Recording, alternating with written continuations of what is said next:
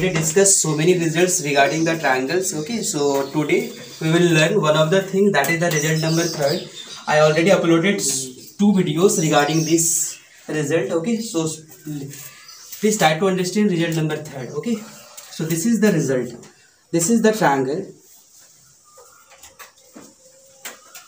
and here is the you can see this is the shape of polygon okay and here is the value of A here is the B and here is the C. And the value of this angle we can write here suppose suppose we can write here D. So value of this angle is X. Okay? So the value of this angle is X degree. We can write here. And the value of this angle is alpha degree. Alpha and this angle is beta degree. And here is the gamma degree. Alpha beta gamma is the greek letter. Okay don't worry. आपको ये समझ में आ जाना चाहिए alpha beta gamma ये सारे चीज़ जो है, इसको हम लोग अल्फ़ा बोलते हैं, इसको बीटा बोलते हैं, इसको गामा बोलते हैं, ये सारे ग्रीक लेटर्स हैं तो आपको ये समझ में आ जाना चाहिए ये चीज़ को। Okay so now you will have to prove but X equals to alpha plus beta plus gamma okay so आपको प्रूव करना पड़ेगा यहाँ पे क्या? एक्स का जो वैल्यू होगा, वो किसका किसका इक्वल होगा? Alpha plus beta plus gamma so we need to prove here we need to prove here result number third we to prove और वी नीड टू प्रूव ये we need to prove we need to prove X equals to X angle X equals to alpha degree plus beta degree plus gamma degree that is a very important result okay ये बहुत important result है आपका। तो यहाँ पे हम लोग क्या करेंगे? एक्स का वैल्यू जो alpha plus beta plus gamma को हम लोग प्रूव करेंगे। तो सबसे पहले इसको प्रूव करने के पहले हम लोग क्या करने वाले हैं यहाँ पे? So we need construction okay हम लोग को यहाँ पे क्या करना पड़ेगा? कंस्ट्रक्शन करना पड़ेगा। तभी हम लोग इसको बना सकते हैं इसको। तो हम लोग यहाँ पे एक लाइन को कंस्ट्रक्ट कर रहे हैं, ठीक है? तो यहाँ से एक लाइन हम लोग कंस्ट्रक्ट कर रहे हैं, ठीक है? जो डी से पास हो रहा है और ये यहाँ पे है। तो इसको हम लोग कह सकते हैं बी डी यहाँ पे इसको लिख देते हैं तो we can write here extend B D up to E हम लोग बी डी को एक्सटेंड कर लिए ई तक okay so we can write here extend B D extend B D to E हम लोग बी डी को ई तक एक्सटेंड कर लिए okay so now you can see the one of the things okay that is the E A P you can apply there E A P exterior angle property okay यहाँ पे आपको exterior angle property apply करना पड़ेगा। Suppose ये angle suppose ये angle आप देखिए। ये एंगल को हम लोग वन ले लेते हैं ओके okay? और ये वाला एंगल जो छोटा वाला एंगल होगा, इधर वाला, इसको हम लोग क्या ले लेते हैं? टू ले लेते हैं। और वन प्लस टू करेंगे, तब क्या हो जाएगा? वो एक्स आ जाएगा okay so as as we know that the form the concept of E A P कोई भी ट्रायंगल अगर एक्स कोई भी ट्रायंगल में अगर एक्सटीरियर एंगल प्रॉपर्टी अगर अप्लाई करें तो आपको पता होगा this is the triangle and here is the exterior so this angle is always sum of this ये जो एंगल होगा, हमेशा जो होगा, ये दोनों का सम होगा, ठीक है?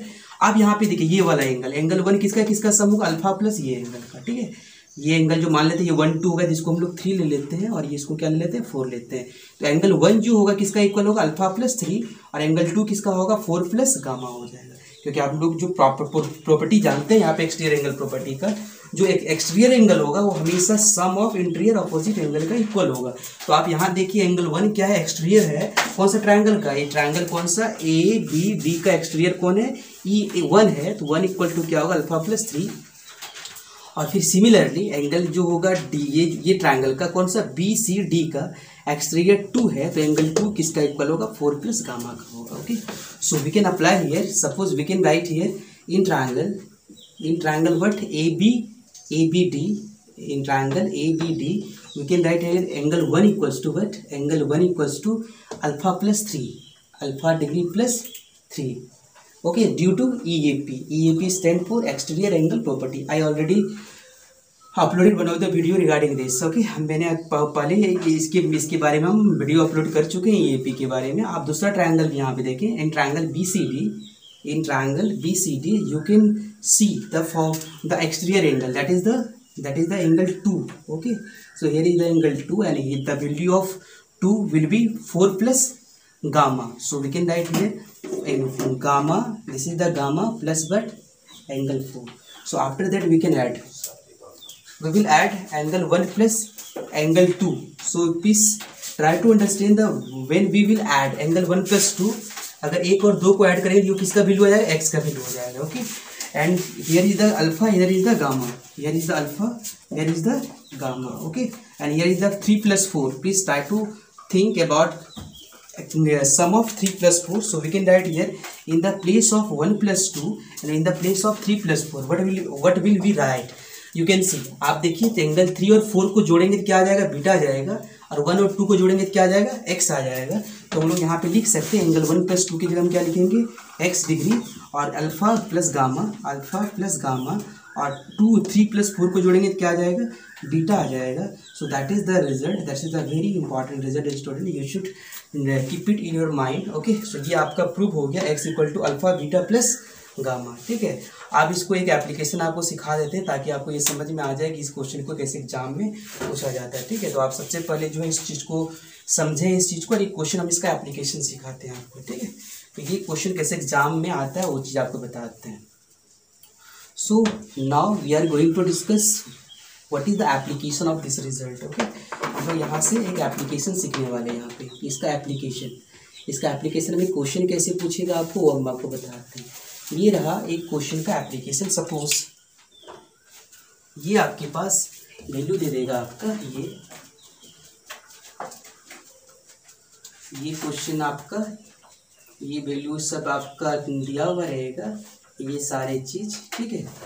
Suppose here is the value ये है आपका फोर्टी डिग्री ओके ये आपका कितना है? थर्टी डिग्री और ये है आपका सिक्सटी फोर्टी थर्टी और ये है आपका ट्वेंटी फाइव डिग्री ठीक है? ट्वेंटी फाइव आपसे पूछा जाएगा कि what is the value of X अगर आपके पास ये कॉन्सेप्ट हो तो आप डायरेक्टली क्या कर सकते हैं अप्लाई कर सकते हैं आप इस कॉन्सेप्ट को। अदरवाइज़ आपको जो है इसको प्रोसेस से बनाना पड़ेगा। हम दोनों तरह से आपको बताते हैं ये। सो आपको अभी हम तुरंत ये रिज़ल्ट बताए थे। क्या बताए थे? Alpha plus X equal to क्या होता है?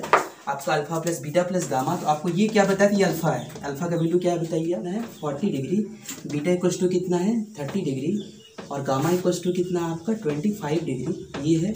तो आपको हम इसको ऐसा लिख सकते हैं इसको कि एंगल एक्स इक्वल्स टू क्या होगा? अल्फ़ा प्लस बीटा प्लस क्या होगा? गामा हो जाएगा। अल्फ़ा का वैल्यू क्या है? देख लीजिए आप। फोर्टी प्लस क्या है? Thirty plus twenty five so इसको आप ऐड करें। ऐड करने पे I think you will get here forty seventy five means we can write here ninety five the value of X will be ninety five ये तो आपको direct है जब क्वेश्चन आपका एमसीक्यू में आए तो आप डायरेक्ट इसको बना सकते हैं इस तरह करके। लेकिन जब इन केस अगर आपके पास जो है, अगर अगर ये आपको दो या तीन या चार मार्क्स में है तो आप इसको इस तरह करके नहीं बना सकते। इसको आपको प्रोसेस से बनाना पड़ेगा।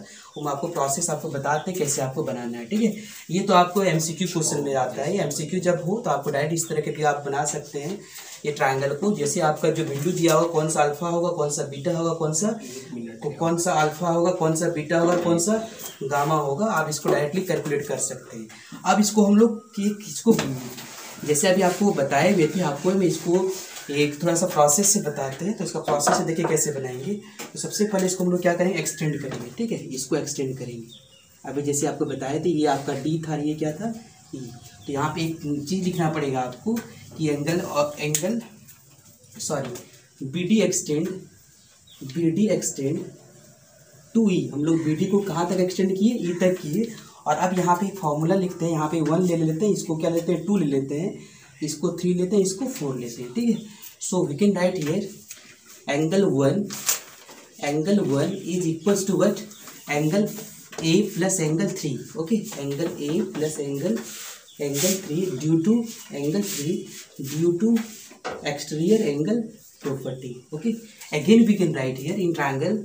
Here is the, in triangle is which B A B A B D. And after that in triangle in triangle B C D in triangle B C D we can write here what? Angle 2 equals to what? Angle 4 plus angle 20 sorry and 25 degree. Here is the 25 we can write here angle C. This is this is due to EAP and after that we can add it. If suppose this is the equation number 1 and this is the equation number 2 if we will add if we will add adding equation 1 and 2 adding equation 1 and equation 2 you will get here what? Angle 1 plus 2 angle 1 plus 2 and here is the angle 1 a plus angle c and plus angle 3 plus angle what? 4 so angle 1 plus 2 it will become x degree yes. Angle a plus c the value of a is 40 degree and the value of c is what? 25 degree and the value of 3 plus 4 that is the 30 degree. So students you can see that is the 75 degree. You will you will have to solve the question like this way okay? In the case of uh, if, if the question will uh, come uh, in uh, in two or three marks okay? So just i am going to give some question regarding this stuff both of the both of the things okay? So this is the homework or assignment you can see. Here is the alpha here is the beta and here is the gamma and here is the 20 30 and 50 here is the 40 20 and 35 and here is the 10 sorry 20 25 30 all are in degree okay? And here is 15 25 and 40 next is 30 35 and 45 so student you will have to sorry you uh, you, you can solve this question like this way okay? So next class we will discuss the next result of this topic okay? Thank you